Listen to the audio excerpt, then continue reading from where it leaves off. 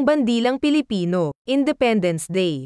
Ang araw ng ikadalawamputwalo ng Mayo ay simula ng National Flag Day at inaanyayahan ang lahat na isabit ang bandilang Pilipino mula sa araw na ito hanggang sa anibersaryo ng proklamasyon ng kasarinlan o independensya, ikalabindalawa ng Hunyo. Akala ng marami, noong ikalabindalawa ng Hunyo, 1898, sa gitnang bintana ng Mansyong Aguinaldo, unang iwinagayway ang bandila. Akala rin ng marami, noong ikadalawamputwalo ng Mayo, 1898, sa labanan sa Alapan unang itinaas ang bandilang Pilipino.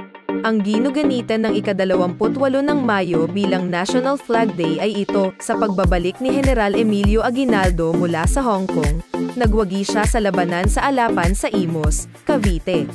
Bilang pagdiriwang sa tagumpay na ito, iwinagayway sa unang pagkakataon sa Teatro Caviteño sa Kawit ang bandila o watawat ng Pilipinas na may tatlong kulay, tatlong bituin at araw. Ang gumawa ng disenyo ng bandila ay ang Junta Patriotica sa Hong Kong.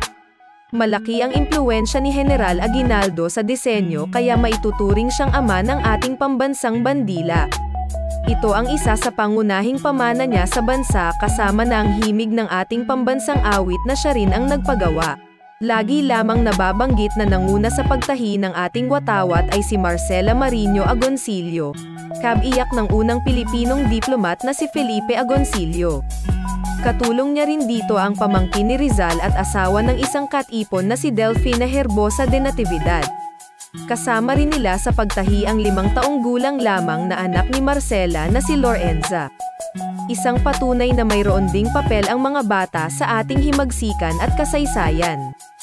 Ginawa nila ang bandila sa 535 Morrison Hill Road, Happy Valley, Hong Kong. Akala ng marami, parehong-pareho ang unang bandila sa bandilang Pilipino sa kasalukuyan. Sa pag-agos ng kasaysayan marami ng pagbabago sa disenyo at uri ng kulay na nangyari sa ating bandila bagamat nanatili ang batayang kulay na pula, puti at bughaw at triangulo na may tatlong bituin at isang araw. Isang kaibahan ay ang unang bandila ay may disenyong mukha sa araw nito. Ayon sa ilan, kahalintulad ito ng Sol del Mayo ng mga bansa sa Amerika Latin subalit ayon sa historiador at etnograpo na si Dr. Zeus Salazar, kung may kaalaman ang isang tao sa sinaunang kultura, pagpapatuloy ito ng kamalayan sa disenyong ito ng araw bilang simbolo ng bathalang araw sa sinaunang pananampalataya.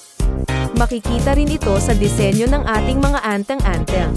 Walong sinag, kasama ang tarlak, hindi and bataan, ayon sa akta, ang walong sinag ng araw ay kasing kahulugan ng walong lalawigan na nagpasimuno Caracas sa pakikidigma, Maynila, Cavite, Bulacan, Pampanga, Nueva Ecija, Bataan, Laguna at Batangas. Sa makatuwid, ang walong sinag ay sumasagisag sa walong lalawigang unang napasailalim ng batas militar noong August 30, 1896 ipinapalagay na ang mga lalawigan na ito ang unang lumaban noong panahon ng himagsikan. Kailangan lamang na ituwid ang pagkakamali ng dokumento ng akta sapagkat hindi bataan kundi tarlak ang kabilang sa walong lalawigan. Ayon sa historiador na si Lino Dizon, maaaring sinadya ito dahil si General Francisco Macabulos Isoliman ng Tarlac ay hindi sumama sa pagsuko ni Aguinaldo sa biyak na bato at patuloy na lumaban sa mga Espanyol. Isang pagkakamali na itinuwid naman ni Aguinaldo sa mga pangalan ng lalawigan sa disenyong araw sa kanyang kisame. Tatlong bituin, Luzon, Mindanao, at Panay, hindi, Luzon, Visayas at Mindanao. Sa isang artikulo, pinapansin ng historiador na si Ambat Ocampo na sa mismong dokumento ng Acte de la Proclamation na isinulat ni Ambrosio Rianzares Bautista na binasa noong June 12, 1898, ang tatlong bituin ay nagpapakilala sa tatlong malalaking pulo ng ating bansa, ang Luzon, Mindanao at Panay na siyang unang kinaganapan ng pagbabangon ng ating bayan. Ibig sabihin, ang isang bituin ay hindi para sa Visayas kundi para sa Panay. Naging aktibo na kasi ang Panay sa himagsikan sa mga panahong ito. Si Candido Iban ng Capiz ang bumili ng printing press ng Katipunan at kasama si Francisco del Castillo ang namuno ng himagsikan sa Aklan. Sa mga panahong 1898, Ang pinuno ng himagsikan sa Iloilo ay si General Martin Teofilo Delgado na sa kalaunan ay kikilalanin ang Republika ni Aguinaldo at itataas sa Visayas sa unang pagkakataon ang bandila ng Pilipinas. Kaya marahil panay at hindi Visayas ang unang pakahulugan nito. Ngunit titindig din sa Espanya ang ibang mga lalawigan sa Visayas kaya naman, sa sulat ni Mariano Ponce sa kaibigang Hapones, tila nag-iba na ang ihip ng hangin, Three stars are the three great groups of islands composing the archipelago, the Luzon Group, the Visayas Group, and the Mindanao Group. Kulay ng bandila, batay sa kulay ng bandila ng Amerika. Ayon sa akta, ang tatsulok na puti ay katulad ng sagisag na ginamit ng katipunan. Ang mga kulay ng bughaw, pula at puti ay nagpapaganita sa mga kulay ng watawat ng Norte Amerika, bilang pagkilala natin ng malaking utang na loob sa ipinamalas niyang pagkupkop na walang pag-iimbot sa atin sa simula at hanggang ngayon. Subalit, ayon naman kay Mariano Ponce sa nasabi ring sulat, the blue, color of the sky, means our hope in a future prosperity, through progress, the red means blood with which we bought our independence, the white represents peace which we wish for ours and foreign countries. Ang tatsulok ay kumakatawan sa katipunan, tulad ng nabanggit sa akta, ang tatsulok ay simbolo ng katipunan. Kumakatawan sa unang paraan ng pagkuha ng samahang mapanghimagsik ng mga kasapi.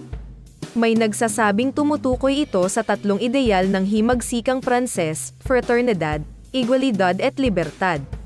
Ngunit ayon sa heraldry historian na si Ian Alfonso, maaaring tumutukoy rin ito sa tatlong paring martir na sina Gomez, Burgos at Zamora. Ayon sa mga dokumentong katipunan na nasamsam ng mga Guardia Civil na nasa Archivo General Militar de Madrid, ang tatlong pari ay ipinaghihiganti nila sa kanilang paghihimagsik.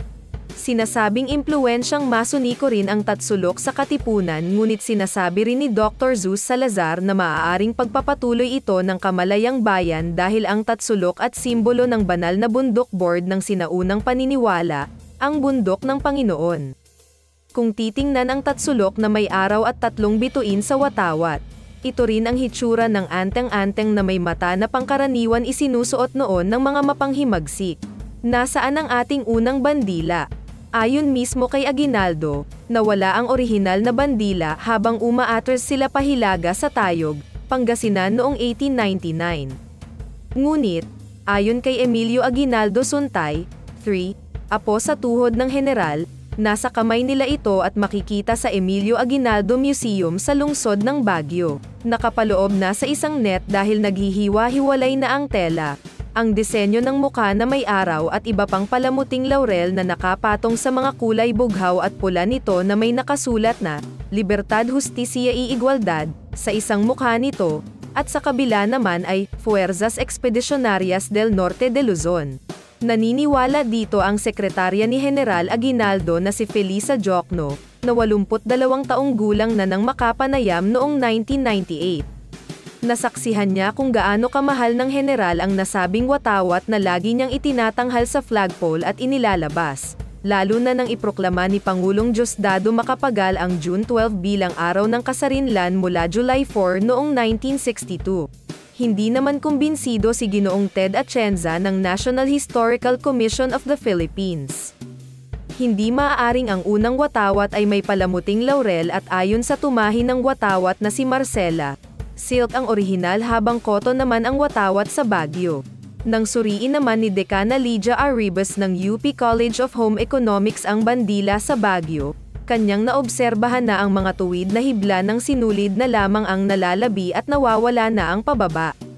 Maaring ang mga natunaw na sinulid ay gawa sa silk dahil mas matibay ang gawa sa cotton, kaya maaaring parehong tela ang ginamit.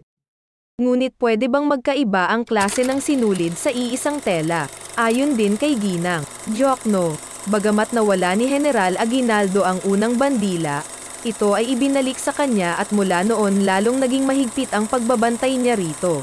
Kailangan lamang liwanagin na ayon sa apo sa tuhod ng general na si Angelo Aguinaldo, curator ng Aguinaldo Shrine sa Kawit, Cavite. Iba ang bandilang suntay sa bandila ni Aguinaldo na ibinalik ng pamilyang Dubois mula sa Amerika na nasa pangangalaga ngayon ng Aguinaldo Shrine. sa isang panayam sa bunsong anak ni Ginang. Agoncillo na si Marcela de Agoncillo, Jr., ang orihinal na bandila raw na tinahi ng kanyang ina ay ang bandilang nasa kamay ng anak ni General Aguinaldo na si Ginang. Cristina Aguinaldo Suntay. At ang orihinal na tela ng bandilang ito ay navy blue ang bughaw. Bagamat mahirap pang masigurado kung ang bandilang suntay nga ang pinakaunang watawat, walang tahasang binanggit si Pangulong Aguinaldo ukol dito. Pero ito ang siguradong sigurado tayo, ang bandilang suntay ay isang bandilang minahal at ipinagmalaki ng general. At tulad ng sinabi ni Ginoong Angelo Aguinaldo, lahat ng bandilang nagmula sa panahon ng himagsikan ay mahalaga sa ating kasaysayan. Ngayon, ang bandilang suntay ay unti-unting naisera. Tulad ng alinmang mahalagang dokumento sa ating kasaysayan, kailangang bigyan natin ito ng pagpapahalaga. Tila ito lamang din ang tanging bandila sa mundo na baligtarin mo lang, iba na ang kahulugan, nasa state of war ang bansa. Salamat sa inyong pananonood.